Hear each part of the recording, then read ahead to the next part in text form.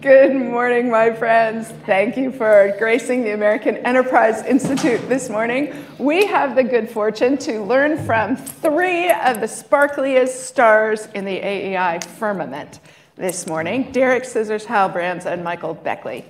And to talk about that outstanding book, Danger Zone, uh, just out from Michael and Hal. And it is my favorite fingerprint of the culture of the American Enterprise Institute that um, this subject is being prosecuted for and against in this very house right? The most important conversation about China policy, the most rigorous examination of the data and arguments in Michael and Hal's book is actually coming from inside the house. Um, and we, have, we are going to uh, talk to them about the book this morning. Let me go straight down this murderer's row batting order. Um, Michael Beckley is a professor at Tufts University, a fellow here at AEI. He was educated at Emory University and PhD from Columbia. He is doing outstanding work on how to think about measures of great power. Um, and if you haven't heard the interview he gave to NPR about the book last week, and about the way his Japanese American family's history influences his thinking about the international order. It is incredibly powerful and beautiful, and I commend it to you. Hal Brands is the most diabolically productive scholar in this field. Um, and he would be murdered on the third floor of this building if he weren't such an outstanding colleague. He educated at Stanford, PhD from Yale in the Grand Strategy program. He's written 157 influential books on the subject, and no, none of us who work on strategy um, incorporate history to better effect and more honestly than Hal Brands. And third up, the good and great Derek Scissors. Um, he worked his way westward in his education, starting at Michigan, then graduate work at Chicago, his PhD from Stanford. He is the chief economist for the China Beige Book since 2013 and a member of the uh, US China Economic and Security Commission. And in the pages of Foreign Affairs, he offered, along with Oriana Skylar Mastro, from, also from this institution, the most robust challenge to the ideas of this book. Okay, Michael and Hal, start us off. You'd think we'd be like more in sync by this point. spend so many long in walks on the beach together. In the midst of the juggernaut of publicity for this book, I should say it was excerpted in the Wall Street Journal and in uh, foreign policy. They wrote about it in Foreign Affairs. It's been blurbed in The Economist, parenthetically, also citing Derek's objections to their arguments, and in the Financial Times just in the last couple of days. Come on, guys. Well, uh, okay, so I think I think we'll start by saying that um, the, the basic idea is just that China is in a different point in its trajectory as a great power. You know, in the 90s and 2000s. Michael, I'm when... sorry. Can I stop you? I forgot something important. Sure. Important.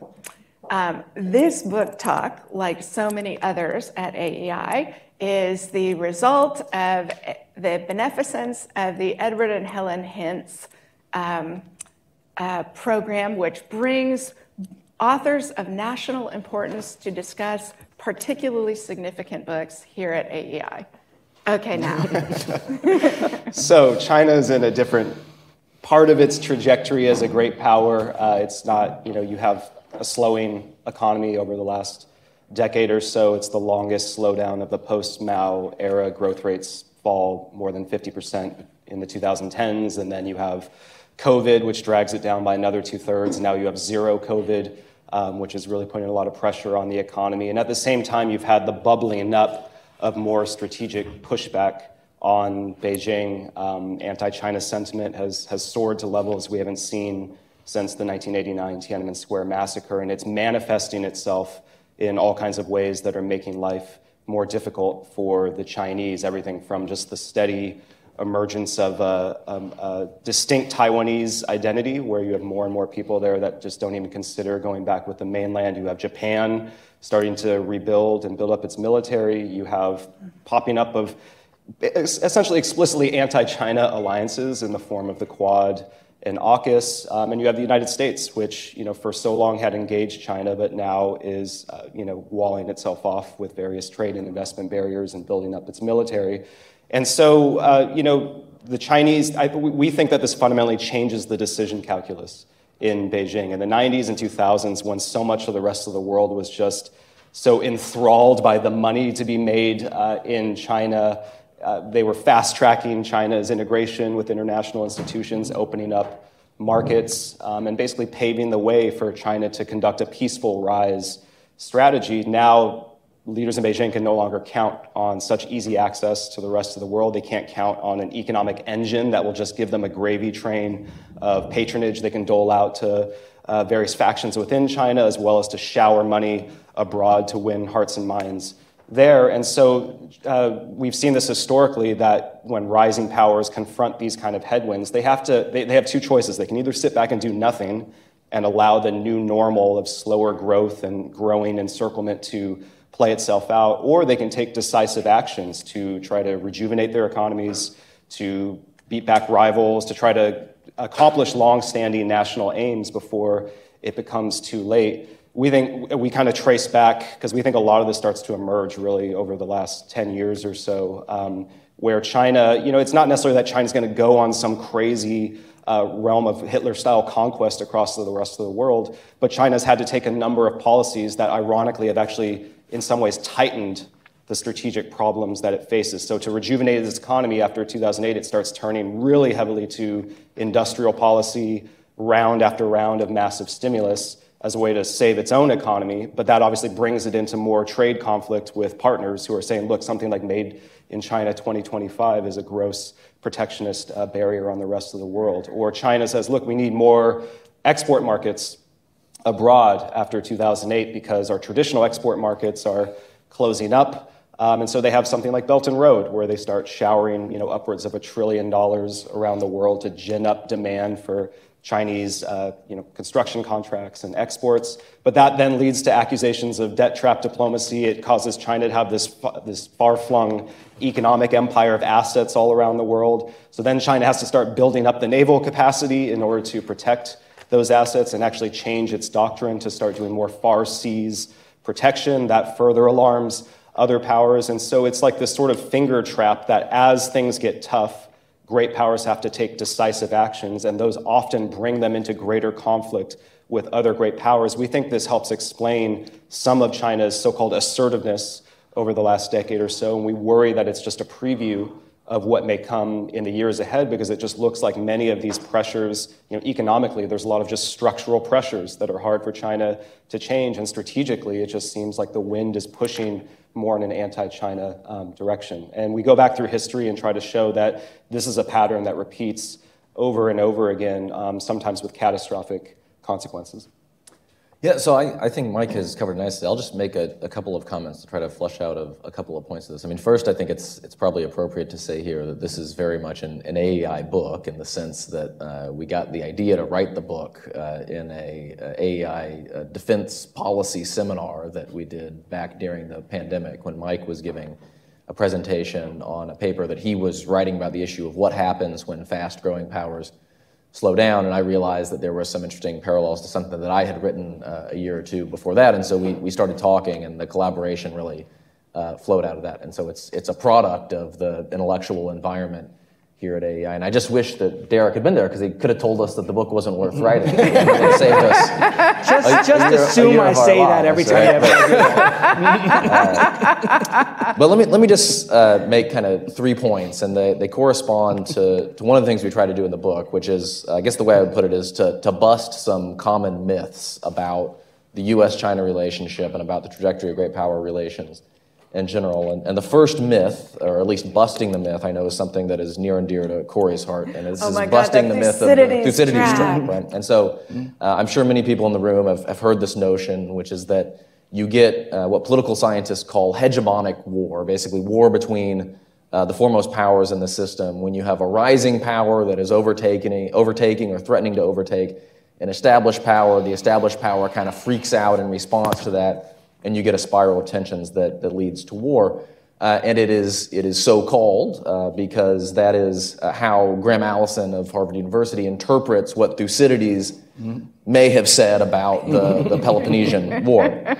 Now, as you can tell, I'm a little bit skeptical of this. It's, it's undeniable that when you have shifting power dynamics in the international system, it creates friction. Uh, you wouldn't be seeing the same level of friction between the United States and China today if China still accounted for 2% of global GDP, as it did at the beginning uh, of the 1990s. So that much is undeniable. But there are some real problems with the Thucydides trap, both theoretically and, and historically.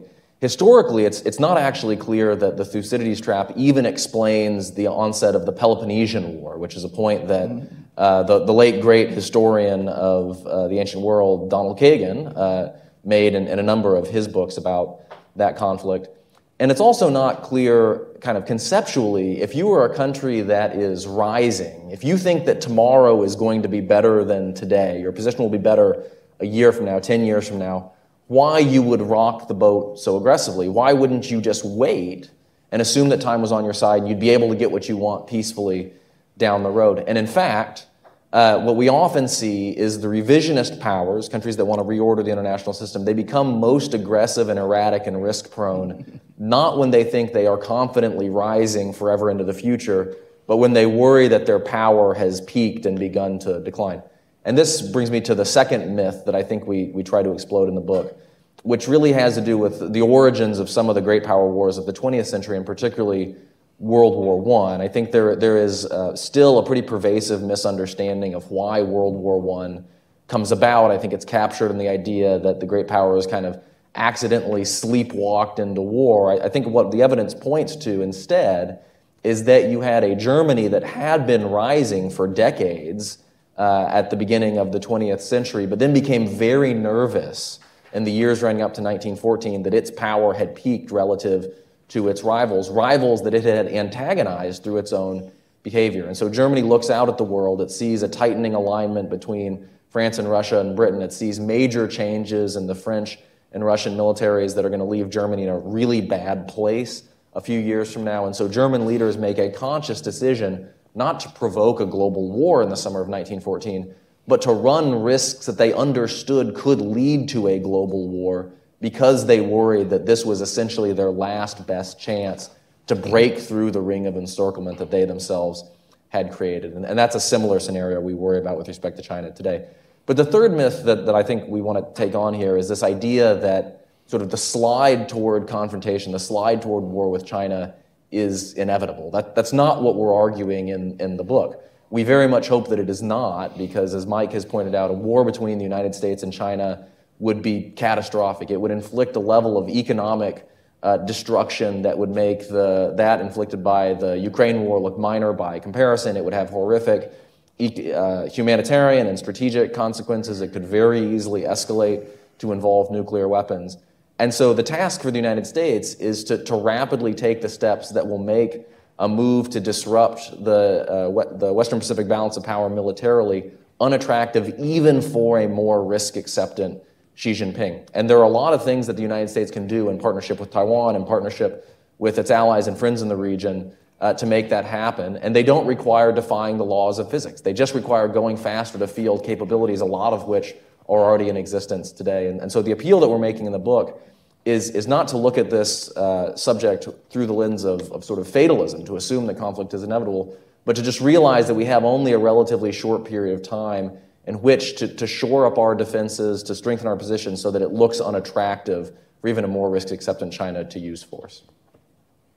Excellent. Derek Scissors. Uh, I should say at the beginning, I am not qualified to address the military issues. Um, if Oriana hadn't decided that she hated water and moved to California as a result, um, she could be here to do that. Uh, I hope Kori will do that. I hope you guys will do that. Uh, fortunately, there's plenty of, of material on the econ side for me to discuss but it isn't everything. So I want to start with that, that uh, exception. Um, I have a line from the intro, which is not me grabbing one sentence from the book and saying, aha, there's a mistake in the sentence. I actually agree with this adding my own uh, emphasis. This is referring to Xi Jinping because he knew his moment of opportunity wouldn't last long. Again, I put the emphasis in there.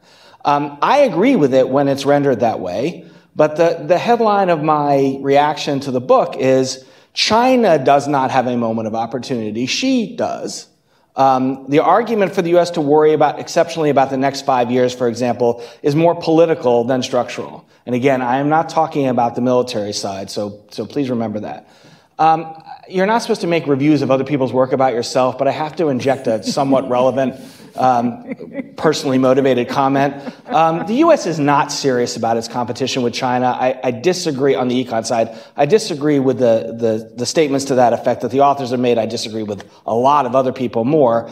We just passed a bill where we're pouring money into research in the United States, chips and science. Uh, it's, it's a month and a half ago we don't have any research safeguards to protect Chinese acquisition of the research. No conceivable serious rivalry occurs in this situation, right? You say, I want to spend a lot of money to have research to compete with China, but I reject the idea that we should seal the research off from China. Now, this is a pet peeve, no question, because I lost that battle politically. But our policy is to speak loudly and carry a twig China does not face serious U.S. economic pressure. Um, I don't think that refutes their arguments, but I do think it bears on their arguments and also bears on the supposed seriousness of U.S. policy. So the important thing I want to discuss with regard to the book is China's own choices and conditions on the econ side. Um, the book does not make the crisis mistake, which is a lot of people will, you know, have discovered China's economic problems and then they imagine an economic crash, uh, dramatic that doesn't doesn't follow at all. Uh, the book may see peaking where I see stagnation, and they're, they're, they overlap in their views, but they're not the same thing. Um, the process of stagnation begins no later than 2011. I, I, think, I think Mike actually referred to that. It starts under Hu Jintao, continues under Xi Jinping. It's very unlikely to change as Xi remains in power. He's not going to discover uh, after the party congress uh, next month or after the National People's Congress early next year that, oh, I was wrong about everything. I want to change my, my approach to the economy. China has chosen to undermine its economic development for political reasons, and there's no reason to think that that will, that will change. Uh, debt has weighed down since 2011 because of a monetary policy panic during the global financial crisis. Demography has done so in the form of a shrinking labor force since 2014, repression of private property rights and wealth creation, it gets worse in some sectors in 2019, which I think everyone's avail, uh, aware of, the attack on private tech. But it worsened in other sectors in 2007. And of course, in some sectors, there is no private participation allowed. Um, there's nothing new or acute here. The problems are long term and they're chronic. Um, so you should not expect a, a, an event right? There's not, in my view, going, it's unlikely to yield an economic peak that is recognizable when it happens uh, in part because China will lie, but in part because that's just not the way the economic trajectory looks. Um, it may not even yield a peak that's sharply defined in hindsight.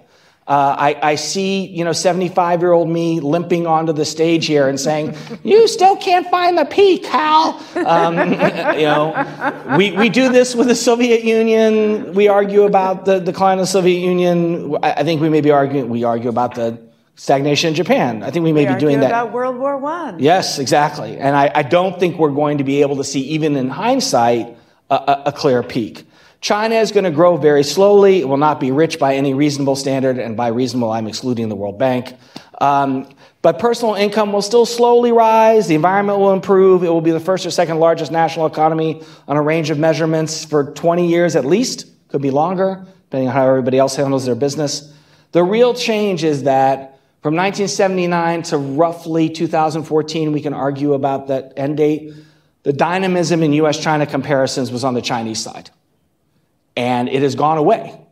And now the dynamism, including to the downside, is actually on the American side. China is, is, is the slow mover, and we are potentially the faster mover. Um, Hal asked me, and it's not his fault if I screw this up, to talk about possible policy changes. Um, I don't see these as very likely because, you know, it's 11th, 12th, 13th, 14th year of Xi Jinping, but they could move faster on labor mobility and stave off demographic, demographic contraction. It, it's still coming, but it could come later. Um, Xi probably fears socio-political instability from, from more migration. Uh, if his successor comes in, this is a technical and time consuming challenge. It's there. You can have more labor mobility and a better uh, utilized labor force, but it's hard. Um, they could boost uh, income by uh, with a true rural land market. That would be a game changer. No one talks about it because this door has been open for years and has not been taken, including by Xi's successors. Um, there's a serious ideological barrier, even if Xi wasn't a, a Maoist. Um, he's clearly not going to shrink the state sector, which means China is going to continue to waste money and suppress innovation. I mean, he's about as committed to that as he can be. The next leader might, um, so there's upside there, but the most likely downside is the is politically induced economic paralysis in the transition. I mean, it's not an accident Xi Jinping will not even touch on a successor. We actually had the last group that I was in contact with, senior group from China, and they said, What can we do to build trust? And I said, Xi Jinping can name a successor. Dead silence. they didn't have talking points for that. No one was going to say a word. Okay? So he has deliberately cultivated a situation where the succession is going to be very difficult. And in that situation, you have the chance for sharper economic downside. So there are reform steps out there that they could take. There's absolutely no sign they're going to they would have upside. Uh, the new leader that succeeds Xi, whenever that happens, five years, 10 years, who knows, could take those steps, but they're that much longer into demographic contraction, and that transition itself represents uh, an economic downside. So I didn't, you know, I, I tried to lay out where uh, I think the book is a little too dramatic. Um, on the econ side, these are not new problems, they are not acute problems. However, on the military side, the story may be different, so happy to hear from all of you. So let's start with the economic case. And Michael, I want to give you the chance to, um, to reclama Derek's uh, comments since you have done so much work on the economics of China's stagnation. Um, and I think you and Derek both agree that GDP is actually a terrible measure of the economic salience of a country. So, so what do you think of Derek's case? How does it impact the arguments you and Hal make in the book? Well, as an armchair strategist, I have a rule to when your critics are saying things you agree with, uh, you should probably just shut up and let them continue to talk. So I basically, I mean, I agree with essentially everything that Derek just said, all of the problems and the, the just the not there just aren't prospects for easy fixes to these economic problems that China faces. I think where we differ is how dramatic, how different is this? You know, Derek is saying these are long-term problems, which I agree, the origins are structural and are sort of baked into China's economic growth model and just its, its demographics and things that are very difficult to change. But I, I do think that we, it's possible to underestimate the sense to which there are really like crisis level problems. Like, you know, in 2007, the growth rate was 15%. What's the growth rate in China today? You know, back in the 2000s, debt was under 100% of GDP. It's, you know, approaching three times the size of China's economy today. If you just look at something like the mortgage crisis today, we're in what, more than 100 cities around China. You have people banding together to protest and say, we're not going to pay mortgages on buildings that are half built. And there's videos online of people bulldozing buildings that are half built. I mean, this just does not seem like a normal gradual, all part of the master plan kind of process to me. This seems a much more dire situation. Now, I don't think there's any kind of financial crisis in the cards because the biggest lenders and the biggest borrowers are, you know, all part of the same uh, party. Um, but in terms of just, you know, is the GDP going to have to take a haircut? Probably because, you know, like the ghost cities and all these apartments that are empty are wasting assets. They're going to have to be cut out. Uh, is there any prospect for rejuvenating the economy and getting back to steady growth? It doesn't seem like it, given the political economy and what Xi Jinping wants to do. Um, and given that he's willing to clearly sacrifice economic efficiency if it enhances his political um, control. So I guess, I guess where we differ is just how, how managed can this process really be? And does the regime feel like it has to take bold steps, which I think it's already taken a number. I mean, like the industrial policy they've rolled out, they're spending twice as much as the United States, even though obviously they're a poor country on a per capita basis. Um, and something like Belt and Road, you know, these show grand ambitions for this country that's not just going to sit back and allow this sort of natural, oh, we'll glide down to the second or third largest economy in the world and just kind of play our part. I just, if you read what Chinese strategists have been saying, they have extremely high ambitions. And these kind of economic problems that they're facing now aren't just, oh, a, a, secular slowdown. I mean, these are serious, debilitating crises that China faces. So I noticed that Megan Greene, in her column in the Financial Times, comes down on your side of the argument this morning with a column about debt, disease, and drought, uh, meaning that China's growth is faltering. But Derek, I want to ask you that it seems like the Xi Jinping and the Chinese Communist Party's theory of control of the country has been that the Chinese people will trade prosperity, will trade um, politics in order to get prosperity. If prosperity, if the prosperity side of the equation is faltering, do you think that creates a political or legitimacy crisis for Xi Jinping, or can he navigate this? And then, Hal, I want to hear your answer to the same question. So, I will go back to a statement I used to use all the time before the pandemic made everything void. It was um, made by a then member of the Politburo to me, and his response to that was old people don't riot, um, which is wonderful. Uh, and he said it in English too, in case my Chinese wasn't up to understanding him. um, so, you know, you have, as I suggested, uh, I think Michael frames this properly. To the extent China has these, you know, grandiose ambitions, the economy is not going to support those. There's going to have to be something that goes along with them. In other words, you're not going to have the rapid growth rates uh, that you want to become a, a, the dominant economy in the world, if China ever thought that was possible, the way the U.S. has been for decades. Um, so you have to you have to have a different strategy. Strangle supply chains, right? Uh, you, you, you give up on comparative advantage. You're going to lose the wealth that, that people might get, but you're getting more leverage over everyone else to back them off of contesting uh, your political, uh, your geopolitical claims. Um, so the era, China, you know, China can't imagine an era of leadership comparable to the U.S. era. It has to imagine something else. I don't think they're capable of that either, but I think that Hal and Mike are right that their recognition of that incapability could be a little bit dicey for all of us. Um, with regard to the trade-off, I, you know, I just don't see it. You know, people say this all the time, but everyone's going to have a job because the labor force is shrinking right? It's, there, we still have this one bubble coming out of college, um, and it's going to pass, and then demographic wave is going to is going to shrink the ensuing uh, age cohorts. Everyone's going to have a job. The environment's going to be cleaner. There's not going to be, unless it's self-induced, a dramatic crisis where people's uh, livelihoods are taken away. Um, compared to previous problems the Chinese Communist Party has faced, Great Leap Forward, mm-hmm. Cultural Revolution, Tiananmen, this looks fine. So the problem isn't with ordinary people being furious at the party for you know, denying them the enormous wealth they thought they had. There could be a problem with corruption, which the party is very aware of, and unequal wealth distribution, but it's not the prosperity of ordinary people. It would have to be more, as Michael said, frustration of Xi and, and a few, you know, his allied elites that China will not get to the place that allows them to do everything they want. It's an elite problem, in my view, not a mass problem. Hence, the anti corruption campaign was aimed at elites. Hmm. Interesting. How, uh, so if uh, two, two alternative theories I'd love to hear your thoughts on. If Elizabeth Bra were here, she would say China's compensating for the faltering of individual economic prospects with an increasingly repressive surveillance state. So they can substitute internally by tighter control.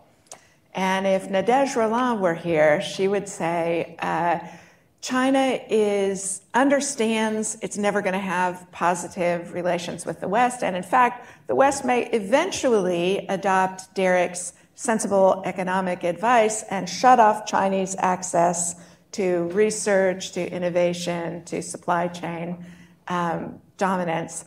But that doesn't matter because China is building an international order with what China calls the global south. And so it has a successful global strategy that doesn't depend on the West or on confrontation with the West. So I'll take the, the second one first, just because I think it actually fits fairly nicely with what we, we argue in the book. And in fact, we draw on, on Nadège's work. And so you, you don't have to go back that far to get to a point where it looked as though large swaths of the advanced democratic world might find themselves enmeshed, at least partially, in a Chinese technological sphere of influence. So if you go back to the 5G debates in, in Europe and the UK in 2019, uh, really leading up to the beginning of COVID, there was a significant prospect at that point that Huawei or other Chinese providers were going to build the backbone of the 5G telecommunications systems with potentially very significant economic and geopolitical ramifications. I think that that prospect has largely been averted now. And so if you look at kind of the OECD countries or whatever collection of advanced democracies you want to look at, more and more of them are doing what, what Mike referenced, which is basically finding ways, whether explicitly or implicitly, to put up barriers to China, Chinese technological influence in their economy. Where that is not happening to, to nearly the same degree as in the developing world. So sort of, you know, Mao would have called it the intermediate zone it's the global south today, whatever you want to call it. And I think this is really central to Chinese ambitions in the coming years uh, to, to carve out what we would look at as a technological sphere of influence that pays economic, um, intelligence, geopolitical, perhaps military dividends over, over the long term. And I think that is a, a, semi realistic prospect. On the first question that you asked, and kind of going back to the, the exchange between uh, Derek and Mike, I, I do think that if, if you're looking at a future in which China, Chinese citizens are enjoying a lesser level of prosperity than they might have expected or that they might have been led to expect, it creates a challenge of a narrowed base of legitimacy for the regime. Now, that doesn't mean you're going to get a collapse of the regime. It doesn't mean you're going to get people out in the streets. I think, I think Derek is, is right about that. But just kind of logically, if you think about it, since 1989, um, the legitimacy of the CCP has basically rested on two pillars. The first is economic performance, and the second is a hyped up version of, of nationalism. As, as one of those pillars weakens, even if it's only a matter of degree, the CCP will have to decide whether it wants to live with a narrowed base of legitimacy or do something else. And something else could be it could be leaning harder on the nationalist pillar of, of legitimacy in, in some ways that we've already seen. It could be tripling down on a repressive surveillance state. We, we've seen that as well. It could be trying to find new ways of ideologically mobilizing the population. And we see that with some of sort of the, the neo Maoist rhetoric and, and slogans and policies of, of Xi Jinping. So there are a variety of levers that the Chinese government can try to pull if it starts to think that it has a legitimacy problem due to slowing economic growth the point I would make is that none of those levers look very pretty from our perspective. That they all have the potential to create geopolitical problems, and in fact, that's part of the logic that we're getting at here. Uh, so I see our esteemed colleague Mackenzie Eaglen in the room, mm-hmm. um, and she uh, she prosecutes an argument parallel to Derek's in the military realm which is that we are fundamentally unserious about the military mm-hmm. challenge China is posing, in particularly and in its sharpest near term application to the sovereignty and independence of Taiwan. You guys talk about that in the book. Um, talk us through it. I, I, we should invite Mackenzie up here because we draw very heavily on her work. Um, I mean, she's exactly right. I mean, the United States, as Derek said, is talking extremely loudly. Pelosi's trip is just the latest example of that. But at the same time, it still puts a lot of its military eggs in a very small number of baskets. It's still heavily reliant on these giant multi role platforms that are great for doing all kinds of peacetime missions and showing the flag, but not so great when you have you know hypersonics flying at you um, and you're trying to dodge a bunch of Chinese mines. I think Mackenzie's work has been extremely valuable for us because she's kind of she's helped explain how this happens because defense experts have been saying the United States needs to spread out its base infrastructure, harden its bases, have lots of different shooters, and lay down this sort of high tech minefield in critical areas that make conquest or a blockade impossible. And yet, there's been relatively little reform in the force structure and posture of the US military. And she helps helps you understand that by looking at the incentives of you know, combatant commanders and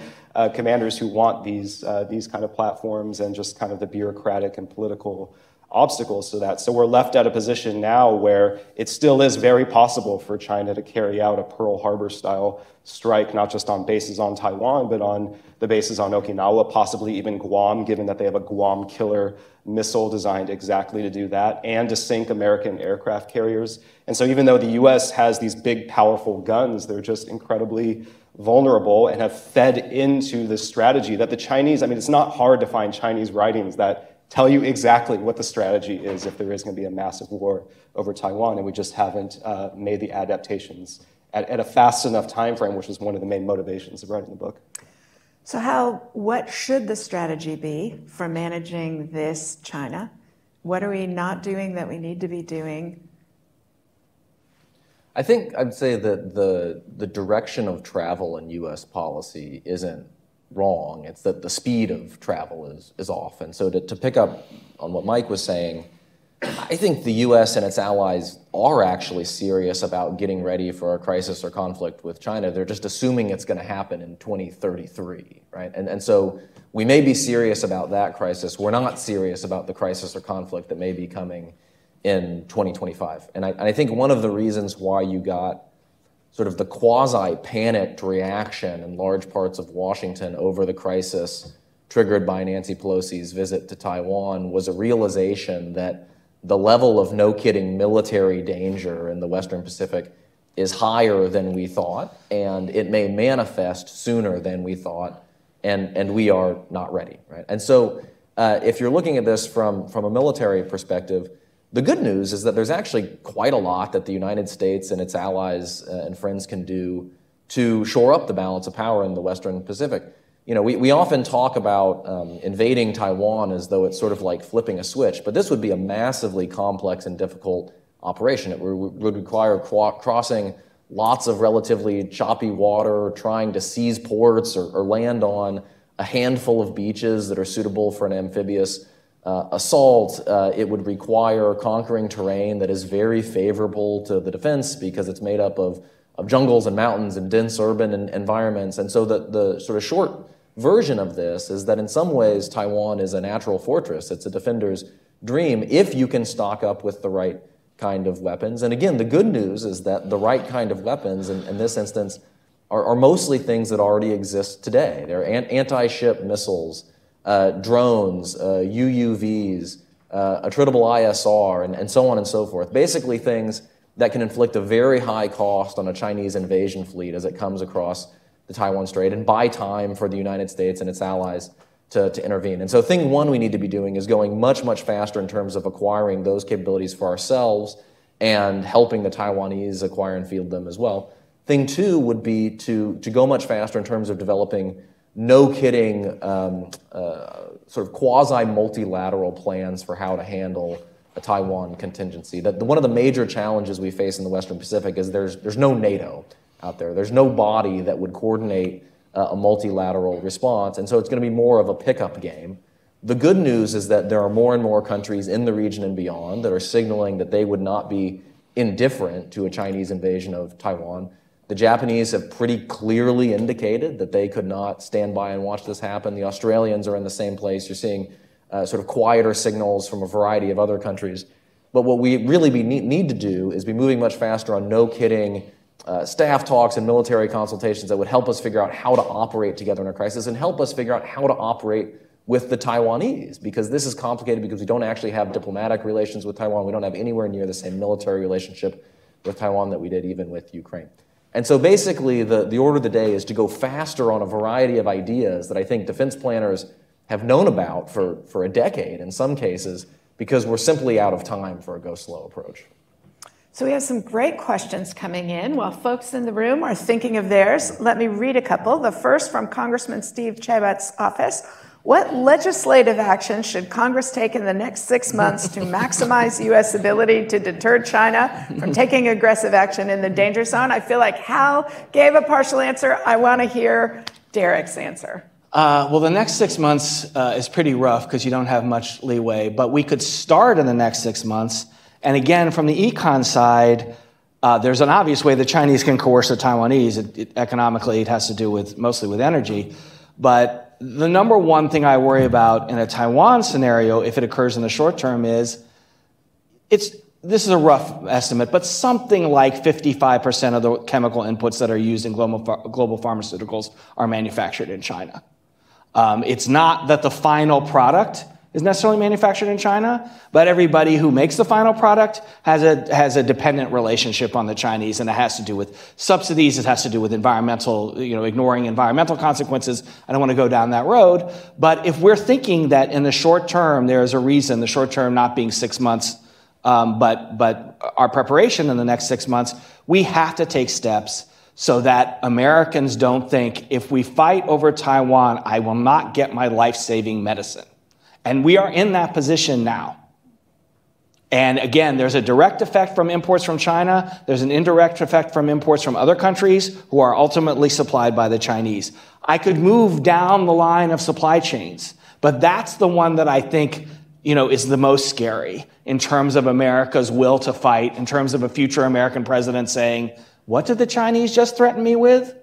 And, and not being willing uh, to take the steps necessary. So, you know, the, the person who, who wrote the question, excellent question. You may have a different chief economic worry, but we don't want to face economic coercion in a Taiwan scenario. It, just like the military side, this problem cannot be solved in a matter of months which means we have to start as soon as we possibly can. Excellent. Questions from folks in the room? Yes. Hi, my name is Laurel Schwartz. I just returned from being the principal of a Chinese Canadian school in Beijing. And there have been rumors that perhaps there is going to be some competition next month for Xi at the, the Congress, the National People's Congress. What if that happens and he's not able to get his third term? How does that change your thesis? Can I start? I, I, think it's extremely unlikely. And the reason is, and, and I don't want to put words in their mouth, but it would fit with uh, my view of Hal and Mike's argument, he would be freaking out right now if that were the case. And we, there was an opportunity with Speaker Pelosi's visit to Taiwan, which I think was a good thing, don't get me wrong. There was an opportunity for him to freak out and say, oh, it's not me protecting my position, it's the Americans provoking us trying to change the status quo in Taiwan. And he didn't do it. Um, I've read some of the articles you may have, you're coming from Beijing, you may have heard, had different sources of information. Some of the articles here are not well founded. Uh, if I, so I, I don't take them seriously. It's always possible that someone could look at Xi Jinping's track record, which on the economic side is poor, and say, I'm not giving you a blank check for the next 10 years. So we could see, rather than him being replaced, more subtle constraints on his power. And that is going to be a very difficult interpretation job. I've been following Chinese politics for 25 years. If you ask me whether I'll be able to sign, find those, those constraints, I'll be like, Do you have a coin? That, that's where I am on my chances. Um, so I don't think he's going to be replaced. I think we would see very different Chinese behavior to now if that were the case. Could he have the same, uh, you know, less of a free hand than he's had so far? Yes. Will we might see that after the National People's Congress? We might. Uh, I don't think we'll see anything beforehand. The Chinese are not going to stand up and say, "Hi, we're having political divisions. Everybody take advantage of that." Maybe just one thing to add on this. I mean, I think I would totally agree with with Derek on this. I mean, the major question is sort of, you know, how successful will he be in, in, stacking the system with his acolytes, not whether he will get the, the, third term. But there is a larger question about what happens after Xi Jinping in, in China. And there's a potential for real political instability there for the reason that Derek has talked about, which is that uh, Xi has basically stripped away a lot of the guardrails and succession procedures that were put in place after Mao Zedong's death to provide continuity and stability in the system. And so after he goes, whether that's in 2027 or you know whether it's because he retires and goes off to live in the countryside or something bad happens to him or or whatever, there is there is more uncertainty about who would be positioned to control the system at that point now than I think there has been in previous transitions. And, and one of the things that we, we talk about in the conclusion of the book is that there are actually a lot of different ways the Chinese system could go after Xi Jinping leaves power. You, you can imagine somebody who would come in and point to a lot of the economic failures and say, actually, there are policy levers we should pull that will require surrendering a little bit of political control, but we're going to do it to get the economy back on track.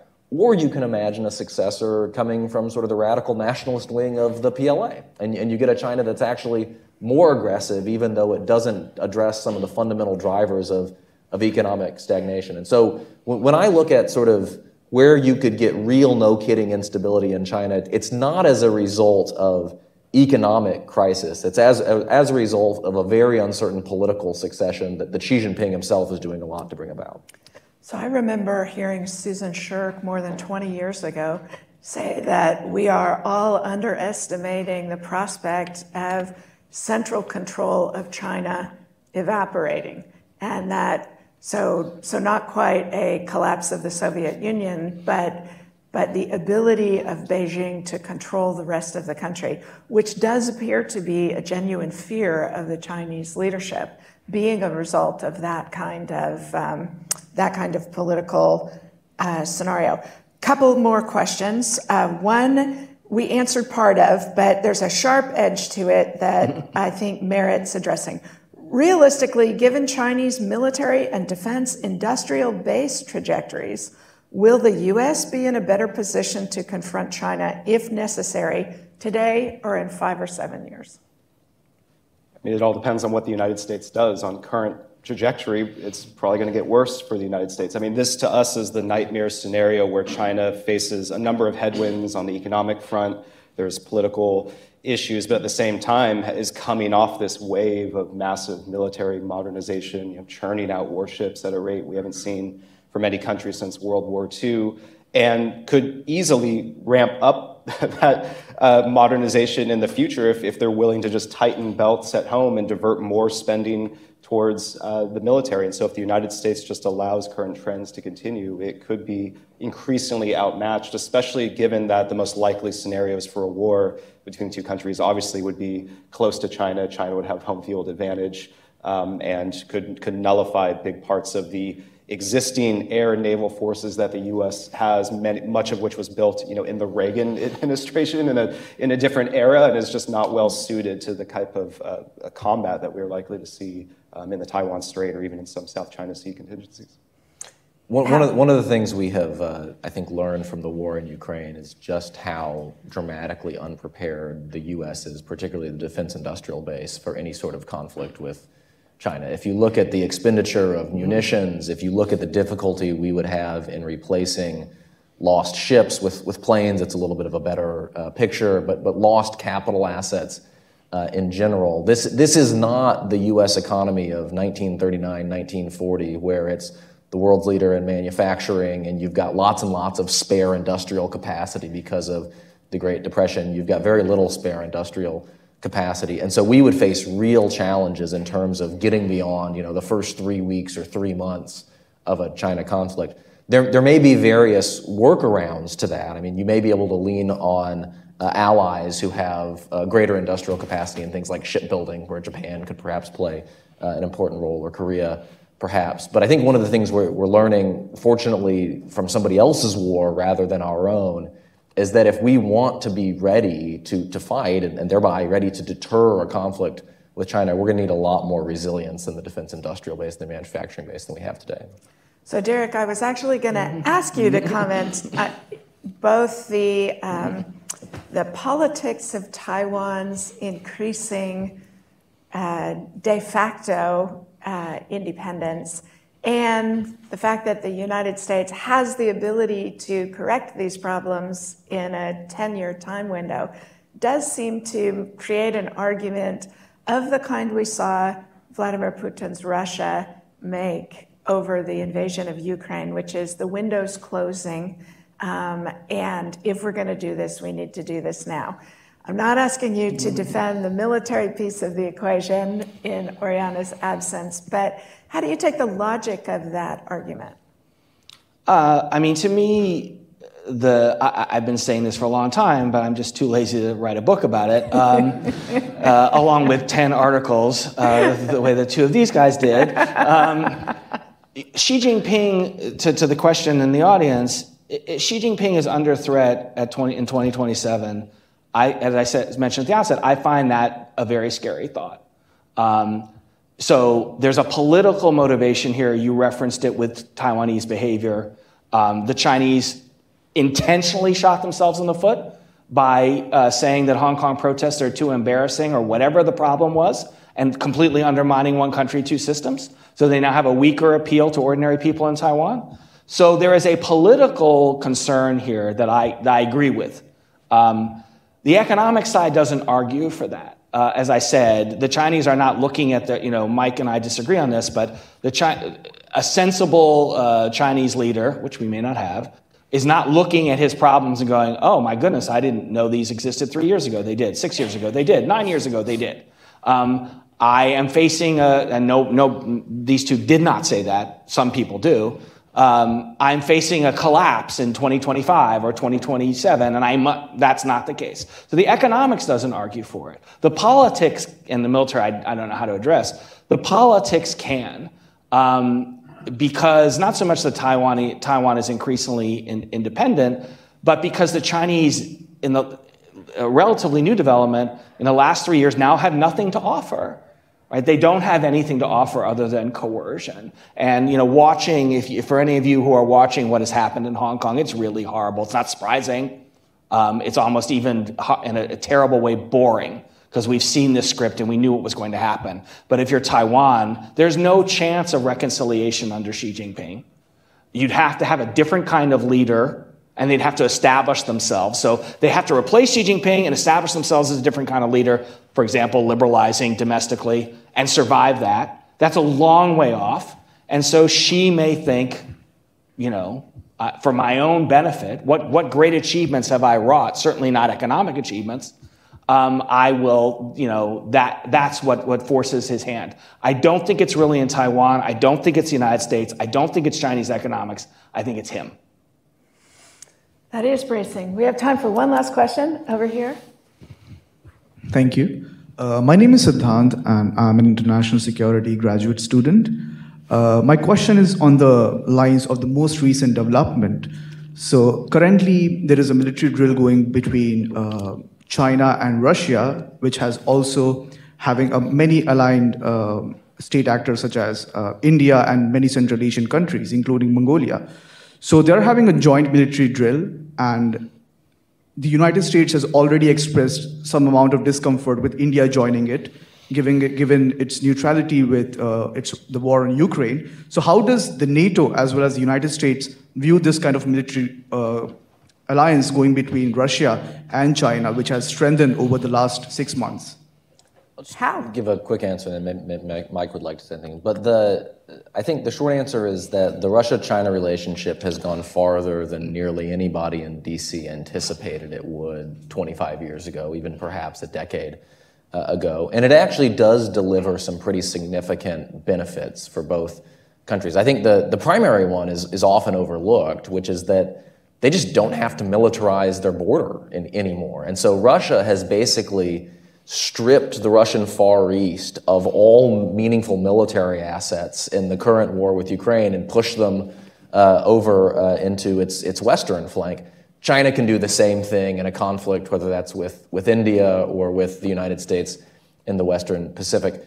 And the fact that both countries are applying pressure on the international system in different places at the same time creates real problems for the United States because we just don't have the bandwidth, military or otherwise, to deal with that uh, effectively. I, I, do think you're seeing some indications in the Ukraine crisis of how this Russia China tie up may eventually end, in, in the sense that you're going to end up with a Russia that is much more economically and technologically dependent on China, which Putin may be fine with, but lots of Russian nationalists won't like very much over a 10, 15 year period. And you're going to have a China that's a little bit annoyed with Russia, or maybe a lot annoyed with Russia for doing things that blow back strategically on China. People are taking the threat of an invasion of Taiwan more seriously now because Putin invaded Ukraine. I don't think that makes a difference in the next decade. I don't think it makes a difference as long as Xi Jinping and Vladimir Putin are in power. The, the logic of this alignment is, is very strong. And if either country turns away from its partner, it has no one to turn toward at this point. But under a different set of Russian and Chinese leaders a decade or 15 years from now, perhaps you start to see a loosening for these reasons. And I would commend to you Hal Brands' a column in Bloomberg this week, last week, uh, on Russia, China, and Iran increasingly coordinating their activity. Michael, anything you'd like to add? Hal, it's like, yeah, Hal's got a column for that, you know. Just, just sprinkle them out and just read this. Um, I mean, I, I, obviously agree with Hal. I think it's, it goes beyond, though, just obviously the military problems of these two countries being able to fight back to back and kind of guard their rear flank. I think it, it possibly, you know, you mentioned India, uh, you know, sets up the core of what could be a, an ideological um, uh, assault because, you know, and this is something we haven't talked about in this discussion yet, but what role does ideology play in competition with China and with Russia? They clearly want a world where color revolutions don't happen, you know, where authoritarian regimes are resilient. China has pioneered the most advanced technologies that make repression extremely affordable and efficient in a way that we've never seen, I don't think, in in the, in the human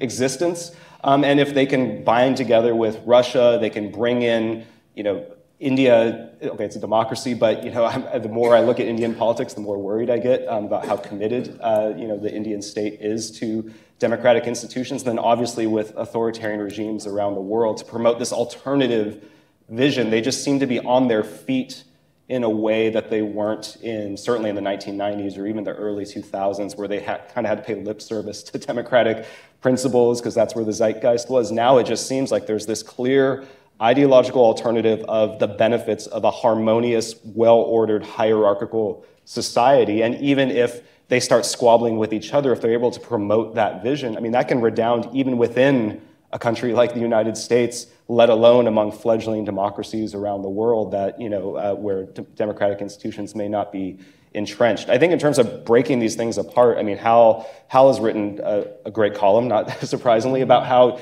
in the short term the United States may actually have to push Russia and China closer together to eventually break them apart. I mean, this is something the Eisenhower administration kind of counted on uh, with the Soviets and the Chinese saying, well, if they get more dependent on each other, they're going to realize it's like when you you're friends with someone and suddenly you decide to room with them and you have to start paying bills together and like everything. And, you know, that's when the real fights begin. And it, and it actually happened with the Sino-Soviet split where Mao was like, you're using us as a, a submarine base and, you know, you're not giving us the nukes and all the other stuff you promised us.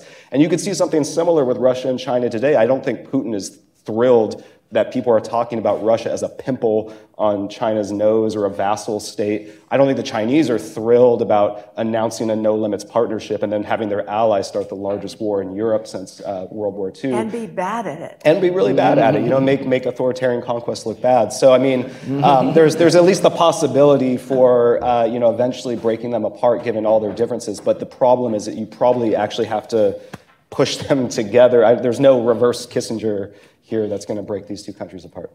Okay, in closing, I would like each of the three of you sparklers to, um, to make one point either that you think is incredibly important that hasn't come up yet, or that you want to make sure people walk away from this conversation with, starting with you, Derek.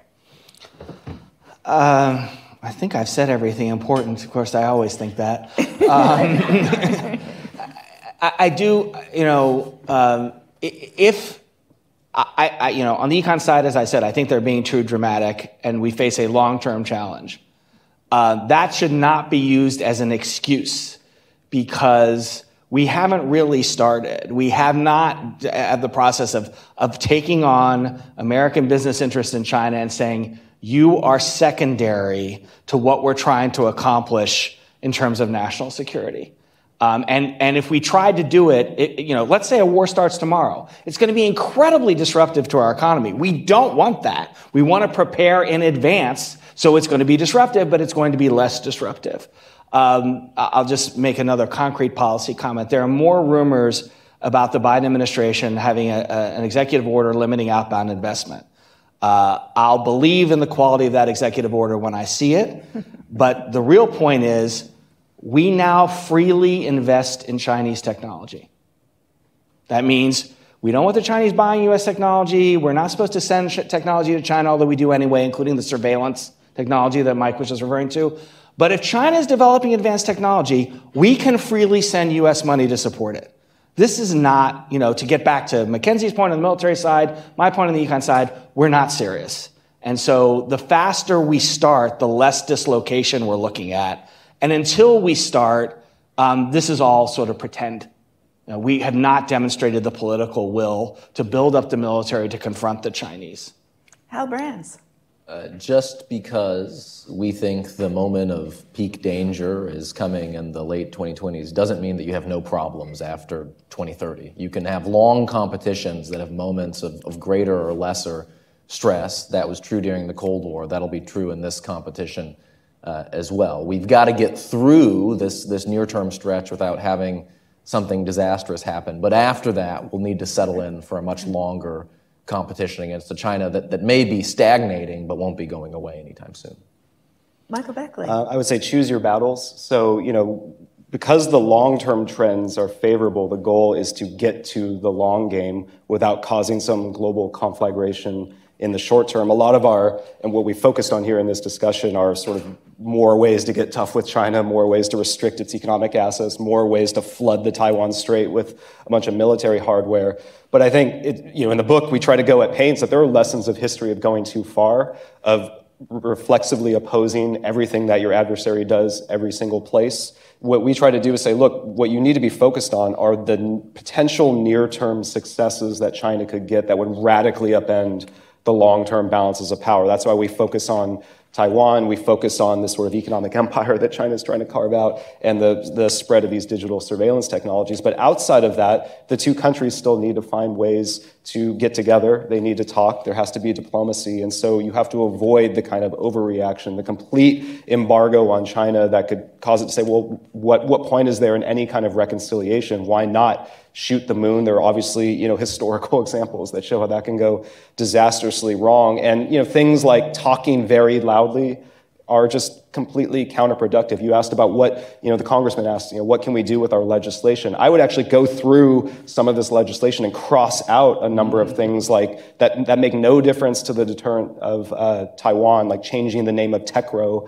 to make it sound more like an embassy. I mean, what, what good does that do for the people of Taiwan? certainly feeds into this narrative of a slippery slope in Beijing that the Americans, the rest of the world is only going to get more diabolically committed to making Taiwan independent. We have to draw a line in the sand right now. That just seems completely short sighted and dangerous. So, avoiding those, there's just so many ways the US can make this worse. So, just actively trying to look for ways to not do that. Won't you, my friends, join me in thanking Helen and Edward Hintz for the generosity to create this book series and these three great scholars and celebrate the book Danger Zone.